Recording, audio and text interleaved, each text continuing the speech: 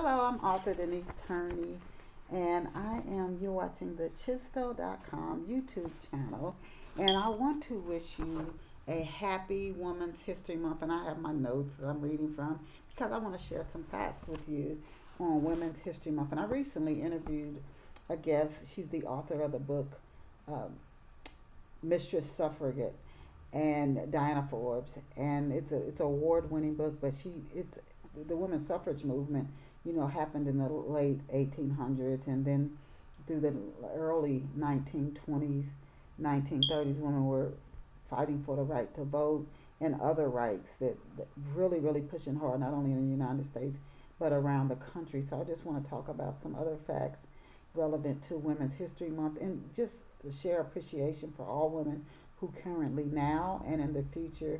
I'm thinking Harriet Tubman, Joan of Arc, uh, and I'm thinking the women in the women's suffrage movement, Sojourner Truth, women who spoke out to make sure that women were not treated as second class citizens, but had a full full seat, all rights at the table.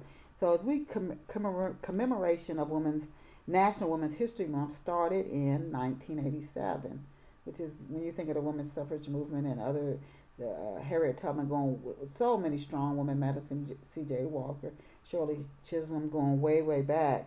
But this, the National United States National Women's History Month started in 1987. It may seem like the United States has been celebrating National Women's History Month longer because the women started pushing for better working conditions, this, which is what drove this celebration as far back as March 8, 8 1857. The Census Bureau shares that this push for improved working conditions started in New York City. And women wanted better factory working conditions. In 1909 is the year that the first Women's Day celebration was held. Again, the location was New York City. Women's History Week, like Black History Week, didn't start as a month, but a week kicked off in 1981. This week was held during the second week of March. So no surprise that Women's History Month is in March. And here are a few facts and cool stats about women in the United States. As of 2017, there are about 165.3 million women in the United States compared to 164 million men. This is as of 2017.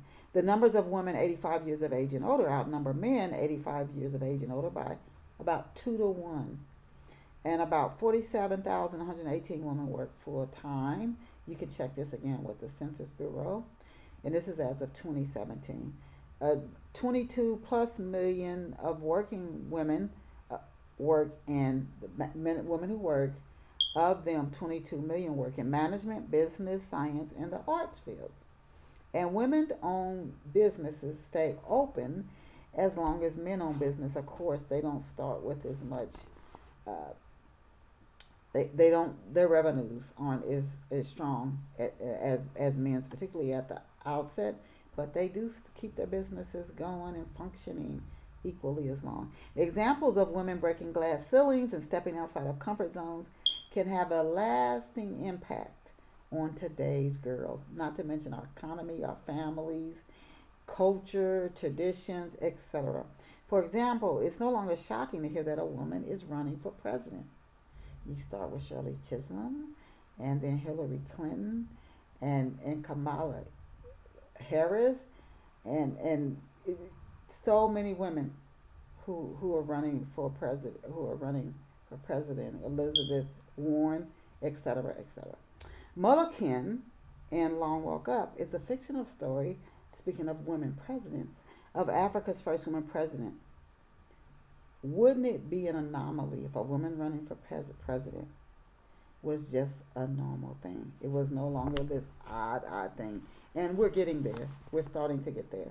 This month, I pause to acknowledge courageous women who paved a path of success for others mothers, grandmothers, aunts, just leaders, leaders in the community, leaders in churches and schools and education, in science, in politics, that just touch so much, so many areas of our lives.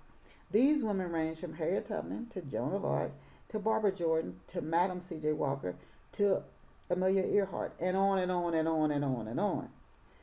Encourage each of us to support women and young girls in their efforts to keep moving, to keep advancing, to keep believing in themselves, to keep walking.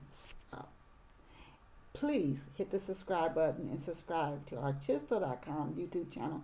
And please visit me online and support my books at chistell.com. Thank you. See you back here next week.